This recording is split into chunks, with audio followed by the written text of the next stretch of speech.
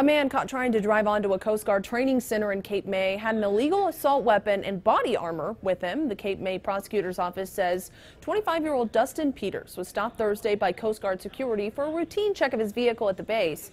They found hollow point ammunition and high-capacity magazines along with the gun and armor. Officials say Peters came to the base for a graduation ceremony. They don't know why he was carrying the weapons.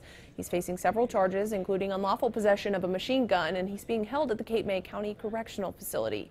Katie Johnston for CBS Philly.